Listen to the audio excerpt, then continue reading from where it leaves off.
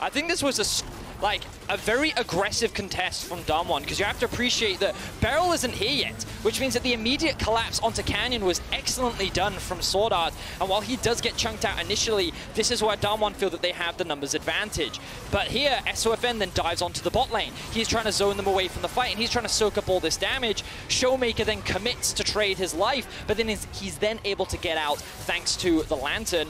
Then I love this commitment from Bin as well because it splits up Damwon once again. And then again, you'll see here from SOFM. Gonna oh. land that root by stacking it up on the Gromp. Who else is on the way? Beryl is on the warpath. Ghost is going to be respawning soon. He's got one more shot. SOFM, a full bar underneath. This is for the soul. Huan Feng reloads. One, two, throws out the grenade. Fire shot number two. The dragon's going low. It's picked up by Suning. They get themselves the soul but They can win the fight.